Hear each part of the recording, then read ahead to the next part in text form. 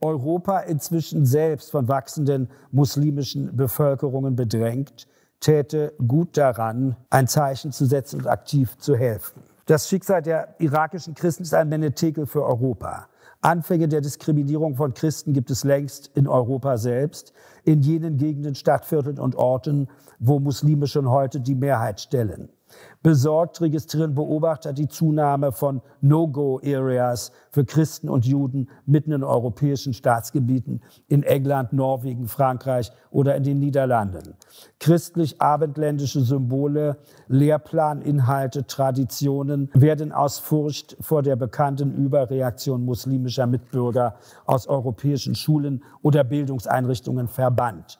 Die Entchristlichung Europas nimmt ihren Fortgang, begünstigt von einer Atmosphäre moderner Christophobie und Kulturaversion. Den Glaubenskriegern Mohammeds ist das Erobern von Territorien geboten. Jede Schule, jeden Stadtbezirk, jede europäische Stadt, die sie dem christlichen Kultureinfluss entreißen, betrachten sie als Sieg in ihrem heiligen Kampf. Dass bei all den Diskussionen über den Islam und den Koran viele, die da mitreden, diese Schrift niemals gelesen haben. Und zum anderen natürlich aus Furcht, äh, sich unbeliebt zu machen. Dieser Text ist vor allem entstanden, nachdem ich äh, Texte von muslimischen Autoren gelesen hatte, die für ihre eigene Zukunft sehr pessimistische Aussagen treffen, weil sie feststellen, dass ihre Gesellschaft, so wie sie heute ist, mit der Unterdrückung der Frauen, mit ihrer Intoleranz, äh, mit ihrer äh, latenten oder offenen Gewalttätigkeit äh, in der Entwicklung hinter den westlichen Gesellschaften zurückbleibt. Eklatant. Aus einem Gespräch, das ich mit meinem schon vor einigen Jahren verstorbenen Freund Ralf Giordano geführt habe. Ich weiß nicht, wer sich an ihn erinnert. Er hat ja in Köln den Kampf gegen die Errichtung, gegen den Bau der Großmoschee in Köln-Ehrenfeld geführt. Und er rief mich eines Tages in der Wüste an, sehr verstört, als auf einer Al-Quds-Demonstration in Berlin das erste Mal ein vierjähriger Junge auf den Schultern seines Vaters mit einem Selbstmord, mit einem äh, Bombengürtel zum Selbstmordattentat, so mit so einer Attrappe zu sehen war. Und da hat er mich angerufen, obwohl er eigentlich zum Palästinenserkonflikt bis dato die üblichen äh, linken Klischees vertreten hat und mich gefragt, mit was für Leuten habt ihr es da eigentlich zu tun? Er, war, er war besorgt über diese Gewaltbereitschaft, schon die Kinder zu opfern.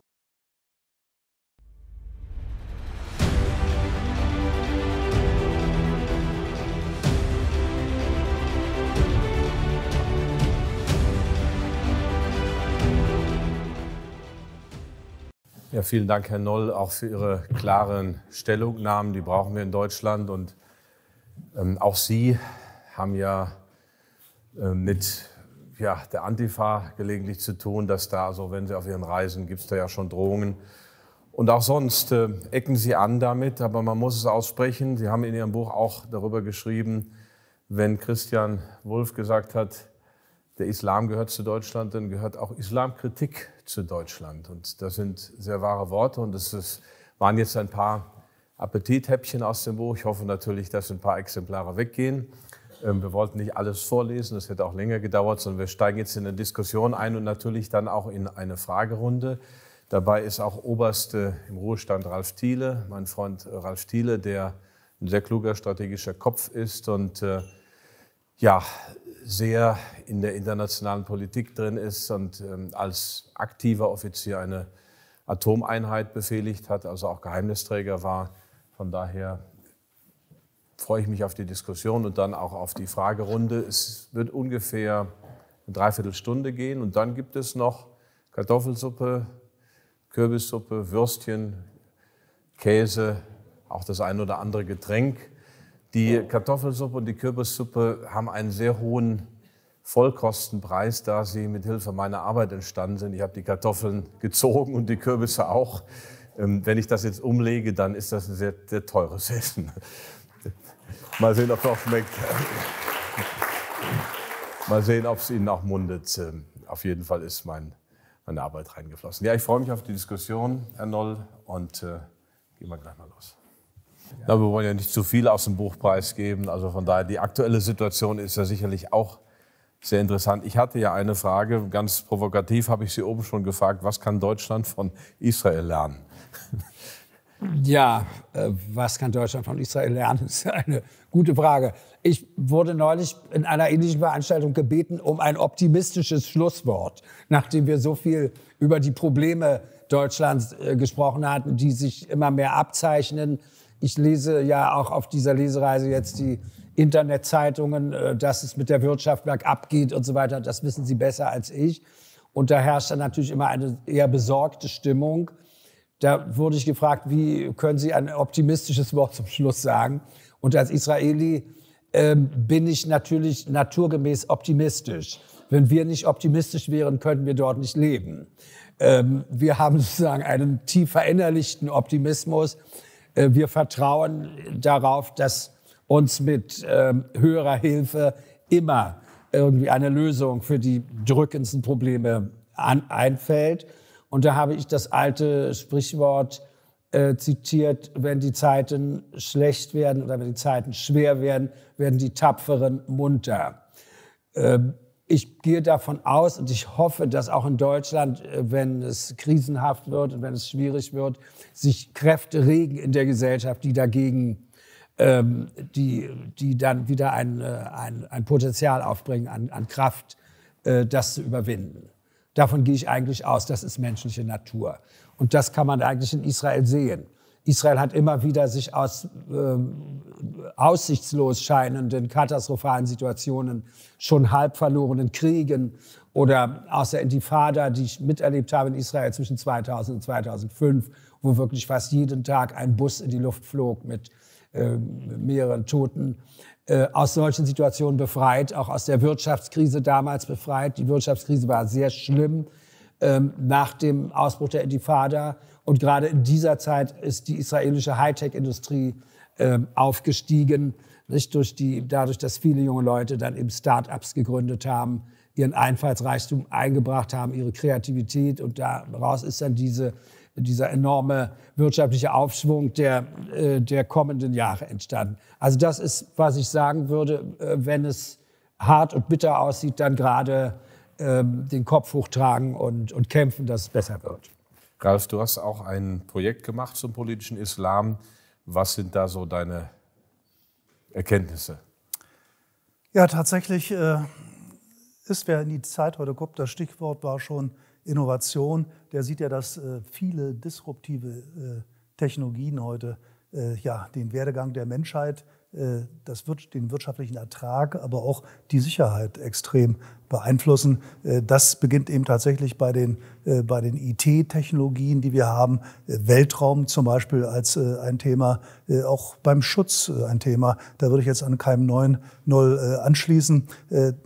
Der deutsche Verteidigungsminister wurde ja gestern von seinem israelischen Kollegen besucht in Berlin. Man schloss dort einen Vertrag über die Beschaffung äh, eines Aero-Systems, äh, das uns hilft, äh, das riesige Loch, das wir in unserer Luftverteidigung hier nicht nur in Deutschland, sondern insgesamt auch in Europa haben, besser schließen zu können. Und da gründen wir tatsächlich auf israelische in Kombination mit amerikanischer, Boeing ist da der Partner, Innovation und versuchen davon zu lernen. Und das hat sozusagen mehrfachen Nutzen. Erstmal ist es tatsächlich extrem viel billiger als vergleichbare amerikanische Produkte. Äh, wir zahlen hier, was immer noch viel ist, sicherlich drei bis vier Milliarden äh, Euro. Äh, amerikanische Systeme hätten 30 bis 50 Milliarden Euro oder Dollar gekostet. Also von daher sieht man, das ist neu und modern. Ich bin in zwei Wochen auch zu einem Weltraumkongress in Berlin eingeladen, wo der Bundeskanzler dabei ist und es auch eine spezifische Arbeitsgruppe gibt über Kooperation Israel zusammen mit deutschen Start-ups, äh, wie man eben äh, von israelischer Innovation bei uns äh, lernen kann. Diese neuen Technologien nutzt auch der politische Islam. Und das ist natürlich vor dem Hintergrund, den wir jetzt gerade gehört haben und der auch in meinen Projekten natürlich mit auftaucht, nämlich zum Beispiel die Unterdrückung der Frau, der inhärente Anti, ja, äh, das antijüdische, äh, der Antisemitismus äh, in dem Ding, den wir ja dann hier erleben auf den Straßen von Berlin äh, bei Demonstrationen recht heftig. Wer hätte sich das vorstellen äh, können, dass das mal wieder in Deutschland passiert? Ähm, die Gleichstellung Mann und Frau, das, äh, äh, ja, wie soll ich mal sagen, das Ablehnen von Religionsfreiheit im Grunde als eine Wahl. Da gibt es also viele Dinge. Und wenn man schaut, äh, wie platziert man sich heute eben über moderne Technologien? Sie lernen etwas über Echokammern in sozialen Netzwerken, wo junge Menschen, gutgläubige junge Menschen gefangen werden, interessiert werden, um sich dann auch entsprechend zu engagieren, Geld zusammen auch zu sammeln für IS, äh, also Terrorismus, äh, unter dem wir in Europa auch leiden. Also viele äh, komplexe Dinge, äh, mit denen man sich auseinandersetzen muss, bis hin zu einfachsten Dingen. Äh, das fand ich auch unfassbar. Wir haben, schließen gerade ein europäisches äh, Projekt ab, wie sich der äh, politische Islam in Europa insgesamt äh, geriert. Und äh, da gründen sie einen Kulturverein äh, und bekommen Staatsgeld durchweg in Europa und können damit Terrorismus finanzieren. Unfassbar. Man kann sich das gar nicht äh, vorstellen. Und was fehlt, ist im Grunde eben immer das Bewusstsein. Genau wie Keim Noll das gerade auch aus seinem äh, Buch zitiert hat. Im Grunde sind viele von uns gutgläubig, haben, äh, das sieht man auch in der deutschen Bundesregierung gerade jetzt äh, sehr stark. Man hat das Gefühl, dass es hier eine Art Islamophobie gibt. Das heißt, dass man aus der deutschen Gesellschaft heraus den Islam unterdrücken möchte und fördert jede Menge von Projekten, die sozusagen sich dagegen richten sollen. Islamophobie ist rechtsradikal. Ich muss hier mal unterbrechen, ja. dass wir ein bisschen den Fluss kommen. Genau. Ja. Genau, das aber äh, nochmal, das ist der, der Gedanke eben, dass äh, hier viele Menschen in Deutschland eben äh, äh, sozusagen eine Phobie gegen den Islam entwickelt, äh, äh, entwickelt haben ungerechtfertigt und deswegen muss man das von Staatswegen bekämpfen äh, und deswegen unterstützt man islamische Gruppen jeg, äh, jeglicher Art, äh, während man das Lagebild, was passiert eigentlich bei uns, zum Beispiel äh, in unserem Nachbarland Österreich kann man das wunderbar sehen, dass im Grunde jeder, der ein kritisches Wort sagt, also nicht nur der Konstantin Schreiber bei uns in Deutschland, im Grunde mit Gerichtsverfahren überzogen wird, die er natürlich als Privatperson nicht finanzieren kann. Hier werden also ich muss es mal hier unterbrechen, weil wir sonst ja, kommen. Aber das, das, das war jetzt sozusagen in der Nutshell. Ich bin auch schon bin auch schon am Ende. Also von daher sieht man einfach, wir haben hier ein großes Problem, das uns eigentlich nicht äh, vor Augen liegt und dem man tatsächlich angemessen balanciert äh, begegnen muss. Nicht? Also weil der Grundansatz ist natürlich, wollen wir den modernen, äh, offenen Islam gerne unter uns haben. Ich habe viele Freunde in der Richtung, deswegen liegt es mir fern, da grundsätzlich etwas dagegen zu sagen. Aber man muss natürlich auch gucken, wo unsere Gesellschaft untergraben wird und da müssen wir stärker werden. Ich denke, wir können direkt in die Fragerunde einsteigen. Sie haben sicherlich Fragen zur aktuellen Situation. Es tut sich ja viel im äh, Nahen Osten. Eine letzte Frage an Sie beide. Es hat jetzt ja doch, Sie äh, in Ihrem Buch Scharia und Smartphone stellen Sie sehr stark ab auf den Konflikt äh, Schiiten und Sunniten und auch die ähm, äh, Gruppe, die sich um Saudi-Arabien gebildet hat, die Gruppe, die sich um den Iran gebildet hat. Jetzt scheint ja, also zum arabischen Frühling habe ich auch eine etwas andere Sicht als Sie. Ich glaube, dass da ausländische Mächte sehr stark hm. involviert waren, dass das nicht so einfach ausgebrochen ist, dass das gemacht hm. wurde. Hm. Aber äh, dass es kein demokratischer Aufstand ist, wie Sie schreiben, ähm, da bin ich wieder bei Ihnen. Ähm, aber jetzt haben wir doch durch die Stabilisierung in Syrien, durch die Veränderung scheint sich ja eine ähm, Saudi- ähm, Annäherung zu ergeben. Äh, Syrien soll wieder aufgenommen werden in die Arabische Liga. Da ist ja viel in Bewegung. Wie, wie beurteilen Sie beide das? Vielleicht erstmal Herr Noll.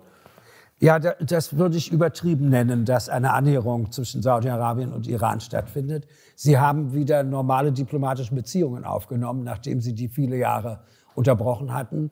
Das hatte aber vor allem damit zu tun, dass ähm, äh, Iran im benachbarten Jemen eine, ähm, eine Stellvertreterarmee unterhält, die gegen Saudi-Arabien schon mit Drohnen äh, geschossen hat und, und äh, Saudi-Arabien bombardieren könnte. Also Saudi-Arabien war daran interessiert, diesen Krieg im Jemen, einen von vielen innerislamischen Kriegen, die wir derzeit haben, äh, zu beenden. Äh, auf der anderen Seite äh, ist, bleibt es bei einer starken Rivalität und, und Feindseligkeit grundsätzlich. Äh, was Sie vielleicht nicht wissen, ist, dass China sich inzwischen des, dem Iran angenähert hat. Insofern, dass es da ein Staatsabkommen gab, 2020, glaube ich.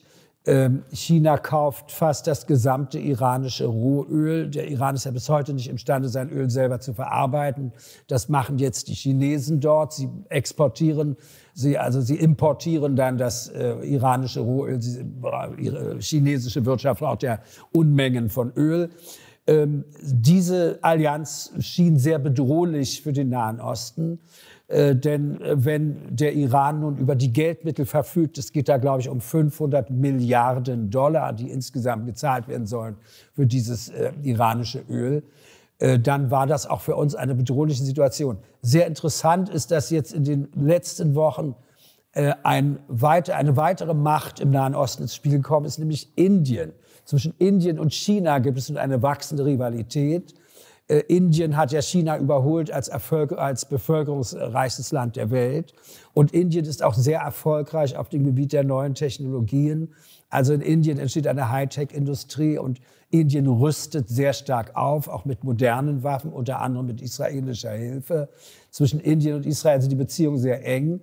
Und nun bahnt sich eine Allianz an, sozusagen als äh, Gegenkraft zu der von China über den Iran geplanten sogenannten neuen Seidenstraße. Sie haben vielleicht davon gehört. Das ginge dann auch über Syrien.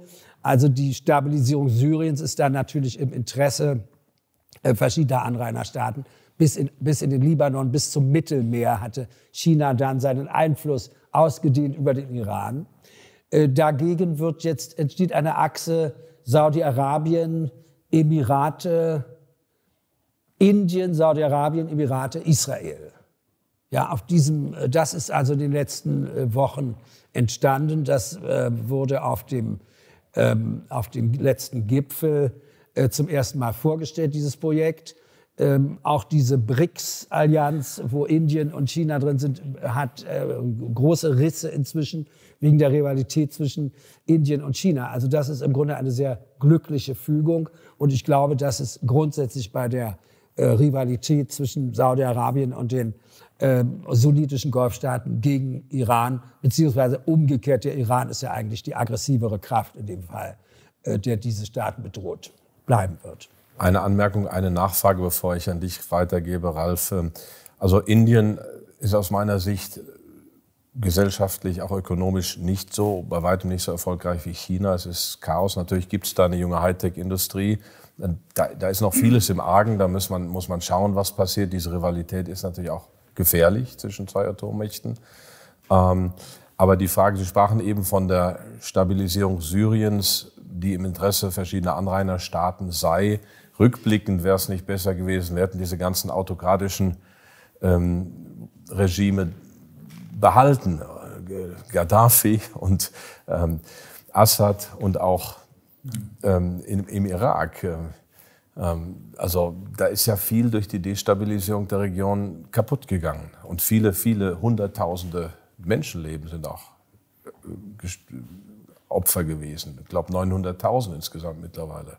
Ja, aber es ist nun mal geschehen. Also diese arabische, diese Re Rebellion hat stattgefunden. Damit sind die meisten dieser Regimes äh, beseitigt worden. In Syrien kann sich Assad an der Macht halten. Allerdings kontrolliert er in Wirklichkeit nur einen Teil des Territoriums. Es, der größte Teil ist nach wie vor umstritten. Also die Kurdengebiete im Norden und so weiter, äh, die regiert er nicht wirklich. Aber es liegt im Interesse, also zum Beispiel auch Israels, ihn irgendwie an der Macht zu halten, dass eine nominelle Macht dort besteht, dass es eine äh, Zentralregierung gibt, auch wenn sie vielleicht nicht viel zu sagen hat. Also das ist dann wahrscheinlich für alle äh, Beteiligten die klügere Lösung. Äh, wir sind ja sehr, sehr gefangen vom Ukraine-Konflikt. Das heißt also Russland als Aggressor und wie geht die Welt damit um. Dabei schauen wir eigentlich aus einem kleinen Teil der Welt in der Beobachtung immer dieser Entwicklung äh, heraus und sehen diese großen tektonischen Verschiebungen nicht, über die ich jetzt sprechen müsste, äh, möchte und über, bei denen auch Syrien eben ein Teil sozusagen der Lösung äh, ist. Der große Teil der Welt, der größte Teil der Welt sieht im Grunde diesen Krieg hier in der Ukraine mit Russland als einen War of Choice, also ein äh, Krieg, den sich der Westen so gewählt hat, der nicht hätte sein müssen. De facto ist die große Auseinandersetzung tatsächlich, welche Rolle spielt Asien künftig in der Wertschöpfung an für sich da. Da stellt man sich sehr dezidiert auf gegen eine amerikanisch dominierte Weltordnung. Und in diesem Spiel spielen jetzt China mit, spielt äh, Indien äh, mit eine große Rolle, äh, auch Saudi-Arabien, Brasilien, äh, die eben versuchen, äh, im Grunde eine eigene Position zu entwickeln. Israel hat sich sehr clever positioniert. Das ist eigentlich von allen begehrt, äh, auch aufgrund seiner Innovationskraft, äh, die, es, äh, die es dabei hat und ist auch mit allen, mit allem im Gespräch. Europa ist möglicherweise der entscheidende Leidtragende dieser Entwicklung, weil wir am, Ende verspeist werden sollen von den Chinesen, von den, von den Amerikanern wir selbst sozusagen schlecht äh, die Dinge auf die Reihe kriegen und jetzt auch neue Verbündete suchen. Und jetzt nur noch mal zur Größenordnung, wenn dann China 700 Airbus bestellt und, und Indien 600, dann sieht man schon mal ganz ordentlich, was für, eine, äh, was für eine Größenordnung da stattfindet. Und ich persönlich bin eigentlich in Sorge, ob Airbus weiter ein europäisches Unternehmen bleibt, ob es nicht mal ein asiatisches wird. Denn da, wo der Käufermarkt ist, da werden dann auch die Geschäfte gemacht. Und was bedeutet das für uns hier? Also das ist sozusagen der Hintergrund. Da ist eben Syrien eigentlich äh, als äh, Aussätziger an Störenfried. Äh, da ist es besser, wenn Syrien integriert wird aus der Sicht dieser anderen Akteure. Und wir bekommen zunehmend auch so viele Probleme, dass für uns Syrien nicht mehr das große Problem ist, mit dem wir uns auch aus hiesiger Perspektive äh, beschäftigen wollen. Also von daher, Assad hat einen Lauf. Wie siehst du das mit Iran und Saudi-Arabien? Äh, das ist äh, tatsächlich auch ein äh, interessantes Thema. Saudi-Arabien wäre sehr engagiert, sich für die Zukunft positionieren. Übrigens genauso wie die Vereinigten Arabischen Emirate oder Katar. Die haben alle Visionen 3030 und Beyond. Da geht das ganze Thema Wasserstoff, spielt eine große Rolle, alternative Energien. Und sie nutzen jetzt im Grunde, was sie jetzt an Geld einnehmen über Gas und Öl, um sich gut für die Zukunft aufzustellen auch uns davon abhängig zu machen. Das ist ein äh, Punkt, der auch damit eine Rolle spielt. Und Saudi-Arabien äh, hat im Augenblick eigentlich eine sehr geschickte Strategie, weil sie wollen auch nicht mehr von Amerika abhängig sein, äh, so wie in der Vergangenheit, und suchen jetzt in einer balancierten Strategie ähm, mit vielen spielen zu können. Und da war der Dauerkonflikt mit Iran, der aus meiner Sicht auch weiter bestehen wird. Iran spielt sehr perfide Spiele mit seinen Nachbarn über Stellvertreter, also so, dass man nicht sieht, dass äh, Iran selbst der Akteur, äh, Akteur ist. Aber Saudi-Arabien kann diesen vordergründigen Streit mit dem Iran nicht gebrauchen. Von daher denke ich, ist das so eine Art äh, Maßnahme, äh, den Konflikt einfach mal ein bisschen unter die Decke zu halten äh, und den mit anderen, auch hybriden äh, Mitteln auszutragen, aber nicht mehr in der direkten Auseinandersetzung. Vielen Dank. Ich denke, wir öffnen die Diskussion. Die Fragerunde bitte fragen Sie, wenn Sie. Bitte schön. Mich würde interessieren, die Situation von Netanyahu und dem obersten Gericht in Israel, die ja doch zu erheblichen politischen Spannungen in Israel geführt hat. Das ist nicht ja hier eine einseitige hm.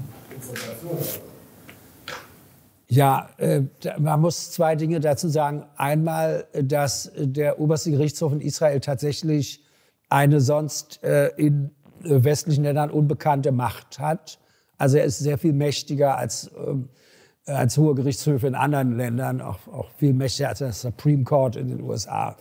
Äh, die Situation hatte sich dadurch zugespitzt, dass durch Reformen, die ein früherer oberster Richter in seiner fast zehnjährigen Amtszeit Aharon Barak äh, durchgesetzt hat, äh, am Ende ein Panel aus drei obersten Richtern, also bei einfacher Mehrheit blieben dann noch zwei, die einer Meinung sein mussten, imstande war, Gesetze des gewählten Parlaments äh, zu kippen.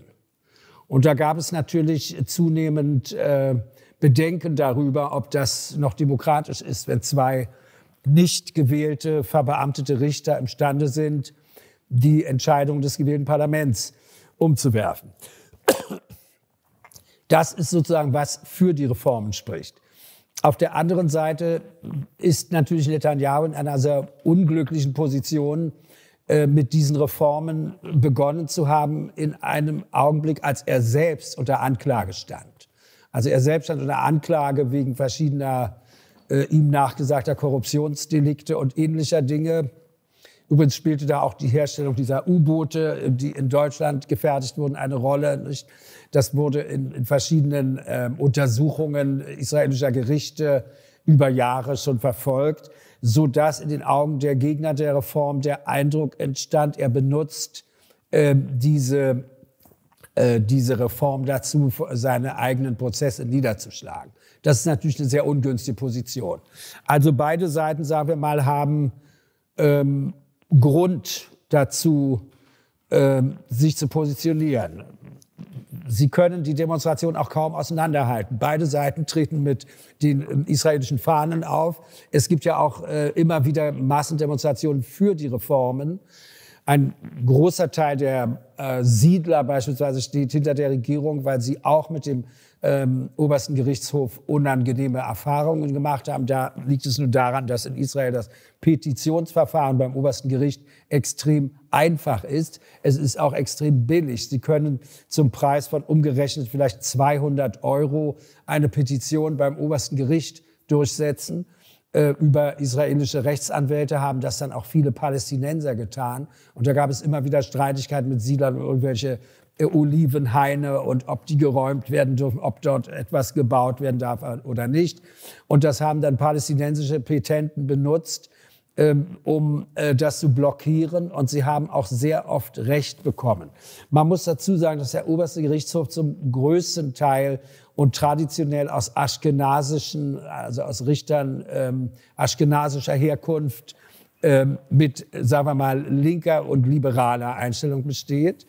Das hat nun wieder den Ärger der sephardischen Bevölkerung in Israel angefacht, zumal dieser schon erwähnte oberste Richter Aharon Barak sehr unkluge Äußerungen zu seiner Zeit über die Unfähigkeit sephardischer Juden und so etwas gemacht hat. Also da kommen nun auch Dinge ins Spiel, die man im Ausland gar nicht so wahrnimmt. Alte Rivalitäten, bestehende ähm, Animositäten zwischen Ashkenazim und Sfaradim. Sie müssen bedenken, dass Israel eine Bevölkerung hat, die aus etwa 145 Länd verschiedenen Ländern eingewandert ist. Es ist überhaupt ein Wunder, dass, wenn das ruhig ist in dem Land.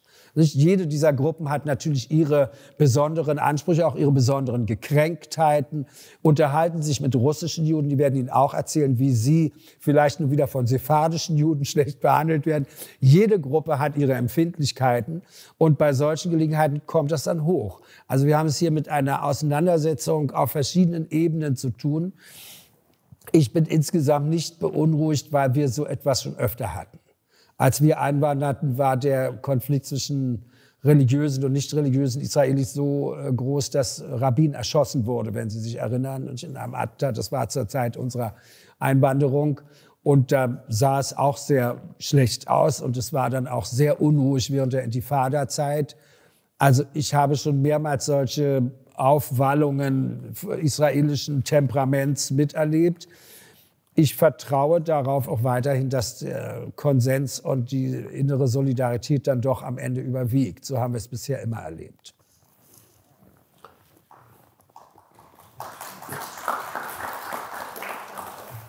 Professor Krämer. Glauben Sie denn, dass die amerikanischen, US-amerikanischen Geostrategen, glauben die noch an die Heartland-Doktrin?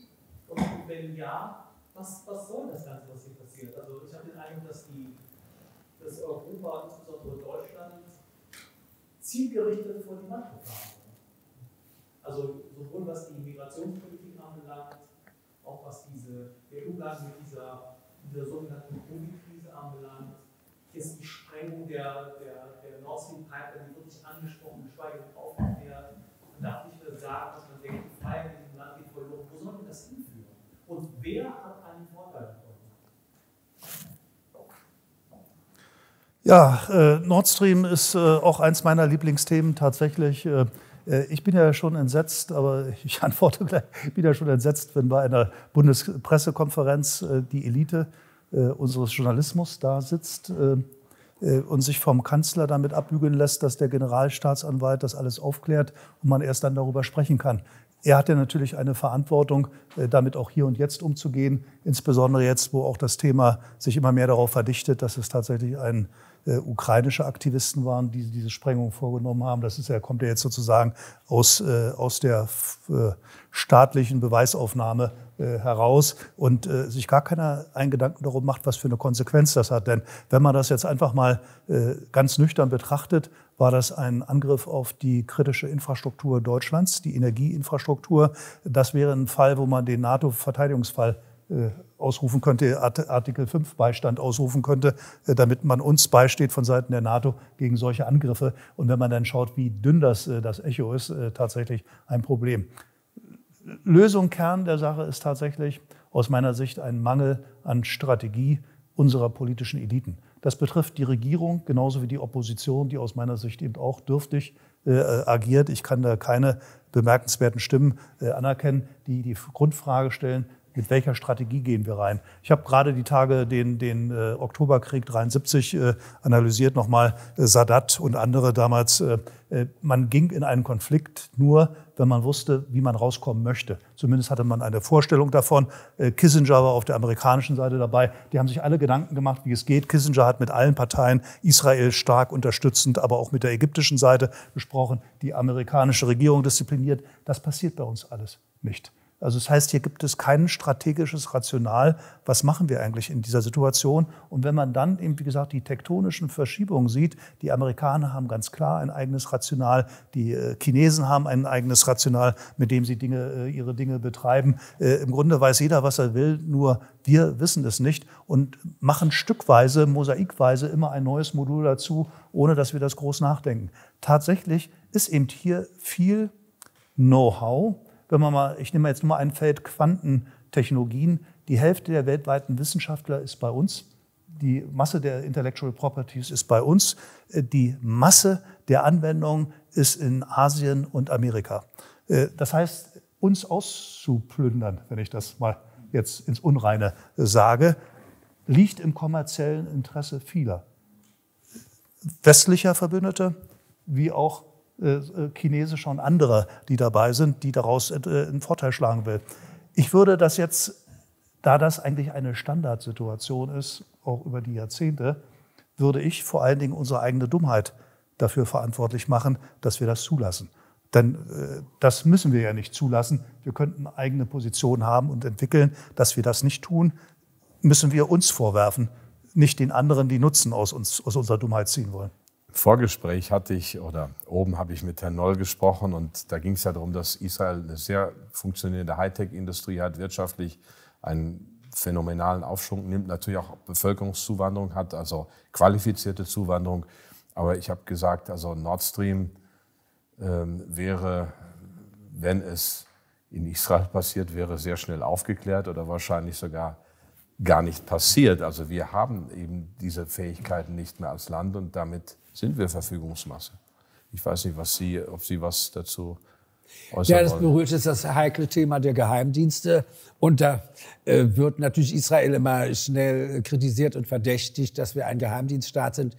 Ähm, wir spüren sie eigentlich als normale Bürger nicht. Es ist jetzt nicht so, dass wir uns da irgendwie überwacht oder behindert fühlen. Im Gegenteil, man fühlt sich in Israel sehr frei. Aber wir wissen natürlich, dass die Geheimdienste sehr aktiv sind und wir brauchen sie auch so aktiv. Und tatsächlich gelingt es den israelischen Geheimdiensten, etwa 80 Prozent der Terroranschläge und solcher Aktivitäten vorher schon zu verhindern. Also sie unterhalten mal ein, ein solches Netzwerk ein, und haben ein solches Know-how, dass sie imstande sind, den größten Teil der gegen Israel geplanten Aktivitäten, also wie so etwas, was Sie jetzt erwähnen, in der, in der Nordsee eine Pipeline zu zerstören oder so, da, da wären wahrscheinlich unsere Geheimdienste vorher draufgekommen und hätten etwas. Es ginge auch nicht anders. Wir können sonst nicht überleben. Wir brauchen diese starken Geheimdienste. Ja, wir auch nicht. Wir auch nicht. ähm, weitere Fragen? Also ich glaube, äh, die Bundesrepublik hatte, wenn ich mich recht erinnere, auf, auf den Niederlanden und auf Belgien schon lange, bevor die Nord Stream wurde, äh, Hinweis, dass das bevorsteht. Ja. Ich glaube, es sind nicht die Fähigkeiten, die fehlen, sondern es sind die Abhängigkeiten, die geschaffen wurden, dass unsere Politiker sich umdrehen, was vertreten. Ja, hier vielleicht auch. Also ich, äh, ich, ich kenne mich da gut aus, äh, aber wie immer, wenn man sich gut auskennt, darf man nicht alles sagen, was man, was man, äh, was man weiß. Der, der Grundtakt ist, Sie haben recht. Die, die Niederlande, die Niederlande sind, waren tatsächlich informiert. Sie haben dann nicht uns informiert, sondern die Amerikaner. Aber wir haben es auf diesem Wege auch erfahren, sodass wir also schon mal zwei hatten, die davon wussten. Unsere Kanzler, auch Kanzlerinnen, mögen unsere Geheimdienste nicht. Äh, man kann das eben immer wieder sehen. Sie lassen sich äh, Vorträge auf anderthalb Seiten reduzieren. Äh, Frau Merkel hatte damals zwei Personen zwischen sich und den Geheimdienstkoordinator platziert, damit sie auch gar keine Verantwortung in irgendwas hat, was mit Geheimdienst zu tun hat. Aber auch Schröder war nicht anders, Kohl naja, Kohl war auch moderat interessiert. Also ich will nur sagen, das ist jetzt nichts, was wir jetzt irgendeiner Partei zuordnen können. Das Problem ist aber, wenn unsere Geheimdienste äh, operativ wenig bringen, dann fragen sich andere Geheimdienste, das funktioniert, ich gebe do und des, ich gebe und du gibst und dann teilt man sich das Wissen. Wenn wir nichts beizutragen haben, dann geben uns andere auch wenig Wissen. Und deswegen wäre auch für uns äh, unsere Stärke lag immer in der technischen Aufklärung, nachdem unsere Anfangsspione der Organisation Gehlen schnell abgefischt wurden, war also technische Aufklärung immer das, das was die deutschen Geheimdienste besonders gut konnten. Ähm, nachdem wir da aber auch nicht gut sind, ist das für uns lebensgefährlich, für uns als Bürger was das Thema Terrorismus angeht, was das Thema Entführung angeht, wie bekomme ich die Leute aus Entführungen wieder frei und was das Thema Angriffe auf unsere kritischen Infrastrukturen angeht. Da müssen wir deutlich besser werden. Und wie gesagt, da würde ich mir einfach kompetente politische und auch mediale Spieler wünschen, die da den Finger in die Wunde legen. Das kann ich eben nicht wirklich erkennen. Bitte. Unsere politischen Stiftungen hier in Deutschland und die betreiben auch Auslandsvertretungen in Ramallah. Wissen Sie, was die da so treiben? Ja, äh, ja, die ähm, Aktivitäten äh, des Deutschen Auswärtigen Amtes und auch dieser Stiftungen sind nach meiner Ansicht äh, für Deutschland eher schädlich. Also es wird sehr viel Geld ausgegeben für Kräfte, die man besser nicht unterstützen sollte. Das ist Tradition ähm, im deutschen Auswärtigen Dienst. Ähm, ich kann jetzt nicht allzu viel dazu sagen. Ich will nur sagen, dass nach meinem Gefühl äh, man da einfach oft die falsche Position vertritt, auch falsche Interessen und viel Geld, viel deutsche Steuergelder da verloren gehen. Also wir haben ja beide eine Historie mit der Adenauer Stiftung. Ich war dort Stipendiat viele Jahre lang. Sie wurden früher relativ häufig von der Adenauer Stiftung eingeladen. Das ist im Moment nicht Heute mehr, nicht mehr, mehr so nein, häufig. Nein. Also, überhaupt ja, nicht mehr. Ich werde überhaupt nicht mehr von der Adenauer Stiftung ja, eingeladen. Wollte jetzt, ja. Jetzt haben Sie noch Gelegenheit, zehn Minuten. Bitte, ja, Hermann. Ja, ähm, wenn ich heute so gehört habe, Sie waren früher ja auch zu den Linken eher zugerechnet. Ich habe Bruder heute gehört, der sagt, er war bei den Linken. Ich habe das nur noch Linke gehört. Heute, die aber jetzt die Meinung auch eine rechte Position vertreten nach dem Schema.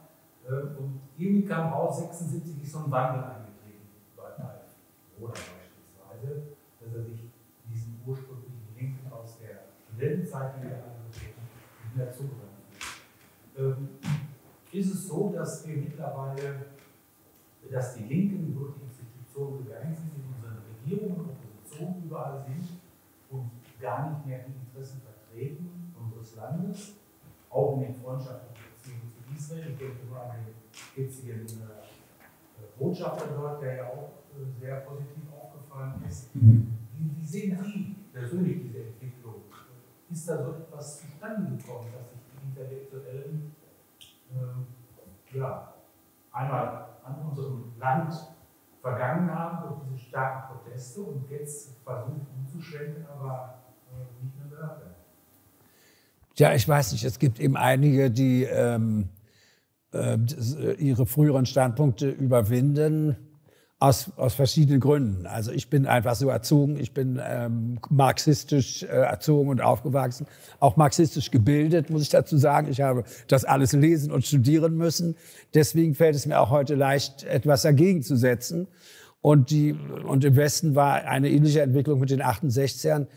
Äh, viele Positionen werden aber heute noch unverändert weiter vertreten von älteren Leuten. Nicht? Also wenn ich mir beispielsweise den Bundespräsidenten ansehe, habe ich nicht den Eindruck, dass er wirklich im Kopf einen Wandel verzogen hat zwischen seinen aus der aus linken äh, Gruppen stammenden Einstellungen, beispielsweise im Fall Israel. Also um das als Beispiel zu nehmen, weil mich das natürlich immer am meisten interessiert. Also da sehe ich keinen, keinen großen Wandel bei den meisten. Die bleiben bei ihren alten Vorurteilen. Nach wie vor ist Israel für sie der Aggressor und äh, Unterdrücker der Palästinenser und so weiter. Also alle diese Klischees sind nach wie vor in den Köpfen. Sie begreifen auch nicht, dass sich da grundsätzlich etwas verändert hat. Und so wird das eigentlich auch in Israel gesehen. Also die deutsche Linke gehört nicht zu den Kräften, äh, der wir groß Vertrauen schenken in Israel, sagen wir mal so, bis heute. Ich hätte auch noch eine Frage, und zwar ähm, in der sogenannten Pandemie war Israel ja Impfweltmeister. Da gab es auch diese Geheimverträge mit mit Pfizer und dann, wie sie auch zwischen der Europäischen Union dann und Pfizer abgeschlossen wurden, wo vieles geschwärzt ist, was noch nicht mal die äh, Abgeordneten sehen können.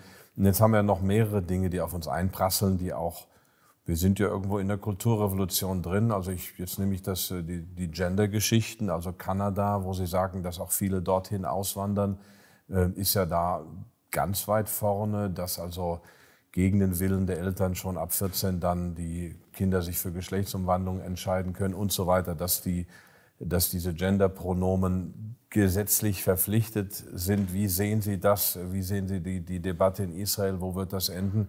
Wird sich Israel da widersetzen oder anpassen? Oder ähm, wie, wo, wohin wird das gehen? Die, die Genderfrage spielt eigentlich in Israel keine besondere Rolle. Also das wird bis, bis heute gar nicht äh, groß äh, zur Kenntnis genommen. Also auf Hebräisch sagt man dann an den Hochschulen nicht, mein Pronomen ist he, him oder she oder them oder so. Äh, ja, es, es, ist ja nun im, ähm, in der hebräischen Sprache sowieso äh, ein, ein, Problem, dass wir grundsätzlich zwei verschiedene Formen haben, männlich und weiblich, für alle Wörter, also auch für Verben. Sie erkennen, äh, wenn jemand telefoniert, an der Art, wie er den anderen anredet, wie das Du ist, ob es Lech oder Lecha heißt, ob es sich um einen äh, männlichen oder weiblichen Partner handelt. Das heißt, es ist klar getrennt. Das erwächst auch aus dem äh, klaren äh, Standpunkt der Bibel zu, dem, äh, zu diesem Thema. Nicht? Die Geschlechter sind klar getrennt. Sie sind zwar gleichberechtigt und gleichwertig, aber nicht gleich. Ich habe gerade ein Buch darüber geschrieben, wo ich mich damit beschäftige. Also es ist auch schon erschienen im Frühjahr in der evangelischen Verlagsanstalt. Das heißt, höre auf ihre Stimme, die Bibel als Buch der Frauen. Und da habe ich im ersten Kapitel mich mit der Schöpfungsgeschichte nochmal beschäftigt und wie klar eigentlich im jüdischen Bewusstsein, und das äh, trifft auch auf die meisten Menschen in Israel zu, und bereits in der hebräischen Sprache die Diversität, also die klare Trennung der Geschlechter festgelegt ist. Wir haben keine, es gibt in Israel eigentlich kein Interesse an Mischformen oder Geschlechtsumwandlungen oder so. Ich habe davon noch nie gehört. Es gibt vielleicht solche Fälle, aber es ist nicht ein Thema, was nur irgendwie die Öffentlichkeit beschäftigt. Wir haben auch offen gesagt andere Probleme. Und das ist vielleicht was, was mich jetzt in, also hier in Europa so ein bisschen erstaunt, vor allem in Deutschland wo man ja eigentlich auch andere Probleme hätte und wo es ja durchaus äh, jetzt kritische Entwicklungen gibt, die man verfolgen müsste, dass man da so viel Zeit und Kraft für solche äh, doch im Grunde äh, marginalen äh, Angelegenheiten, die, die nur wenige Menschen betreffen und interessieren, aufbringt in den Medien. Naja, marginal ist es ähm, nicht, wenn man es vor dem Hintergrund sieht der Kulturrevolution, die stattfindet, dass man den Menschen eben entwurzeln und äh, vereinzeln will und beliebig machen will. Und da würden sowohl die Bibel als auch die Tora und die, die israelischen Schriften, die jüdischen Schriften ähm, äh, klar dagegen Position beziehen. Aber das ist eben, diese Kulturrevolution passiert ja und ich entnehme Ihren Worten, dass äh, Israel da gut immunisiert ist, eben durch die Sprache allein. Denn die Sprache ist das, wie wir kommunizieren. Und wenn die Sprache so deutlich ist, dann haben es diese Ansätze natürlich sehr schwer. Ja, also das ist im, im Judentum, äh, sagen wir mal, tief verwurzelt, dass die Geschlechter getrennt sind und dass daraus eigentlich die Kreativität des Menschen erwächst, dass es zwei Geschlechter sind. Also hermaphroditische Formen oder so haben nie im Judentum interessiert. Das ist eine, eine eher griechische Erfindung. Äh, solche, solche Mischformen, also das hat niemals in Israel irgendjemand interessiert bisher. Also ich habe niemand getroffen. Abschließende Frage an Chaim Noll oder Ralf Thiele, bitte, ja. War was die, die Basis? Bitte? Achso, der arabische Frühling. Dass unsere Gesellschaft entwurzelt wird? Ja, in der Sprache, in der Familie, in der Kultur. Denn nur dadurch sind ja gewisse äh, Erscheinungen, die wir heute haben, möglich. Sie meinen die Migration, oder? Ja, da hat natürlich der sogenannte arabische Frühling äh, beigetragen.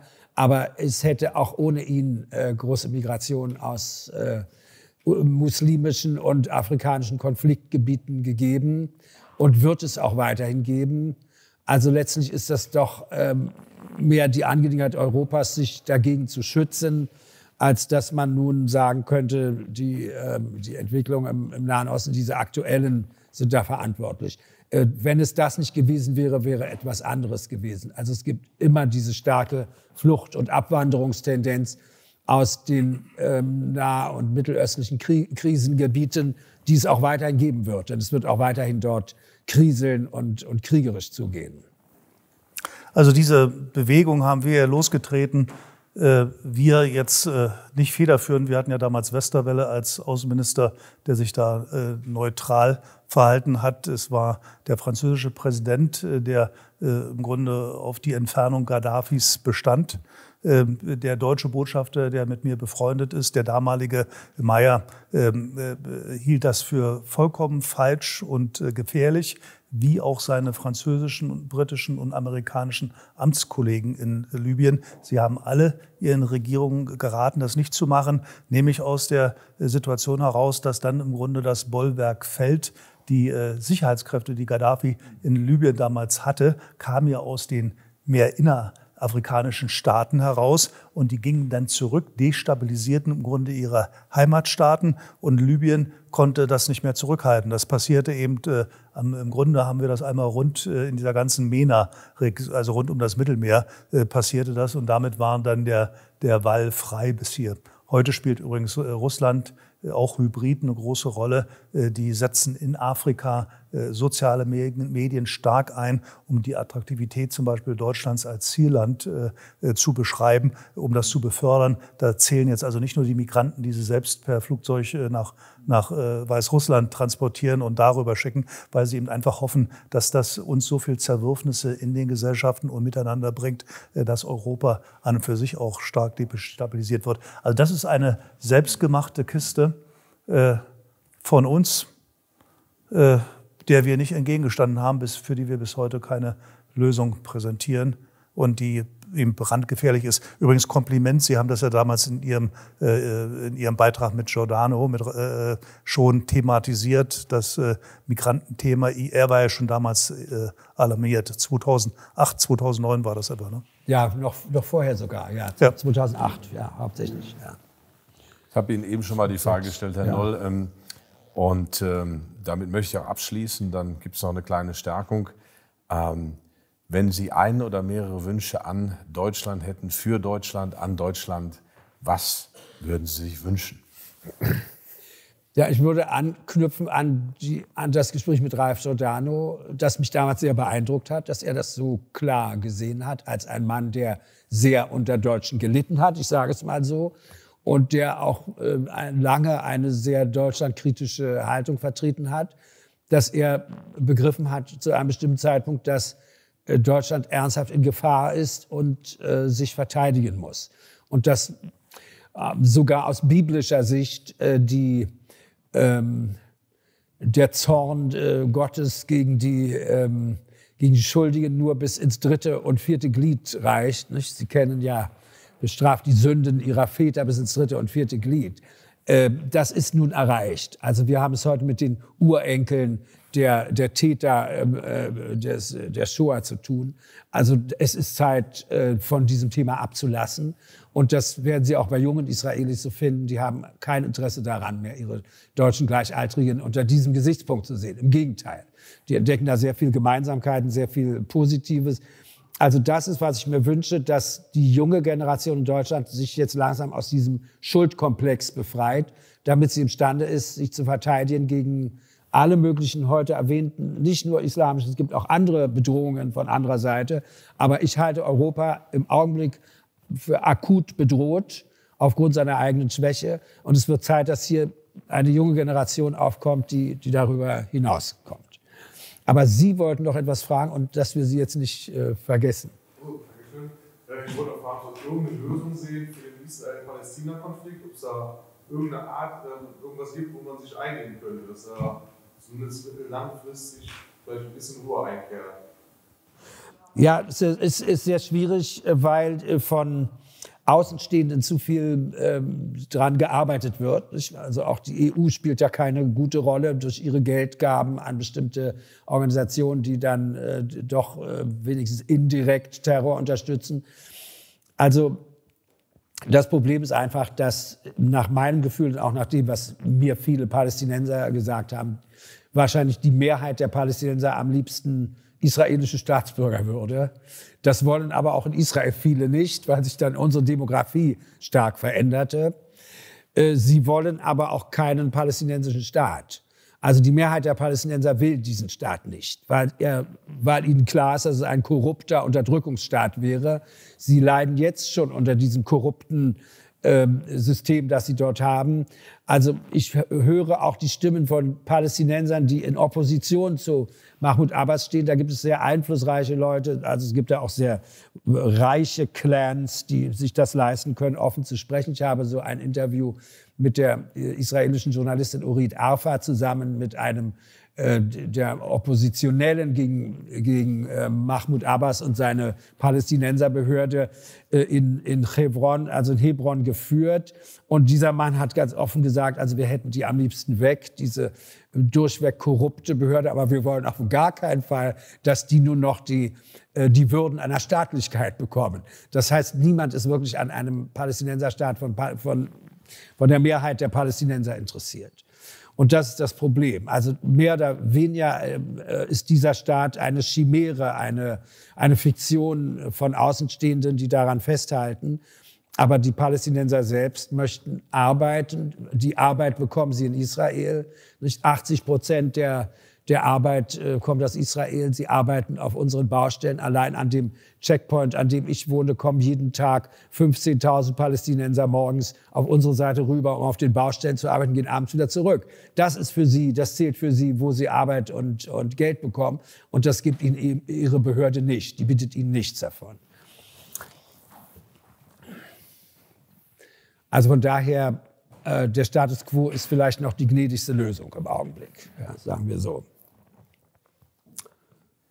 Ja, ich denke, das waren einige Anstöße. Das Buch ist da. Bitte ähm, nehmen Sie eins mit. Also äh, erwerben Sie eins, denn ähm, man kann es weitergeben. also ich bekomme 10 Prozent, also das will ich nur dazu sagen. Herr Noll, Herr Noll hat einige vorsigniert, ja. weil ja der Schabbat jetzt mit Sonnenuntergang so langsam anfängt. Also jetzt signieren ist schlecht. Ähm, da achtet er natürlich darauf. Ich freue mich, dass wir jetzt noch ähm, eine Stärkung zu uns nehmen, Imbiss, etwas, vielleicht auch was trinken, Gläschen, Wasser, Wein, was immer da ist. Ich freue mich, dass Sie da waren, Herr Noll. Herzlichen Dank. Herzlichen Dank, Ralf. Vielen Dank.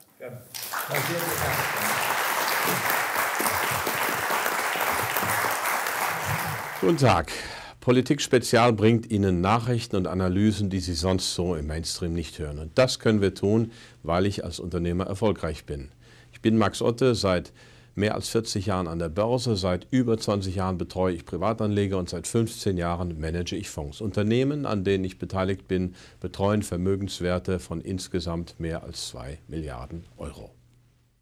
Wir arbeiten mit der Methode des wertorientierten Investierens, des Value Investing. Und das heißt, dass wir Aktien als Unternehmensteile betrachten, als Stück, als Besitzurkunden von einem organischen Unternehmen, das in der Wirtschaft bestehen muss und eben nicht als Stück Papier. Und das bewährt sich langfristig, ist ein langfristiger Ansatz. Dieses Jahr stehen unsere Fonds mit circa 17 Prozent vorne. Und da gibt es verschiedene Lösungen den Max Otto Multiple, der hat neben Aktien auch Gold und Silber drin und ist in Liechtenstein, können Sie aber auch in Deutschland ab einer bestimmten Summe erwerben. Oder den PI Vermögensbildungsfonds, den gibt es schon ab ganz kleinen Einstiegssummen auch als Sparplan. Machen auch Sie sich Gedanken, wie es weitergeht mit der Vermögensanlage? Sachwert schlägt Geldwert, das ist mein Credo, aber die Immobilie ist natürlich auch durch verschiedene Sonderfaktoren belastet. Wenn Sie sich Gedanken machen, vereinbaren Sie ein unverbindliches Gespräch bei Herrn Philipp Schäferhoff. Er berät Sie gerne über unsere verschiedenen Optionen, sei es Fonds für Kleinanleger, sei es Fonds für größere Anleger, sei es individuelle Vermögensberatung. Das ist alles da oder sogar Vermögensverwaltung. Rufen Sie Herrn Schäferhoff an, er freut sich auf Ihren Anruf. Ich bin Ihr Max Otte. Mein Name ist Philipp Schäferhoff. Ich bin seit 2013 im Unternehmen von Prof. Dr. Max Otte als Vertriebsleiter tätig und Ihr Ansprechpartner für alle Fragen rund um das Thema Fonds.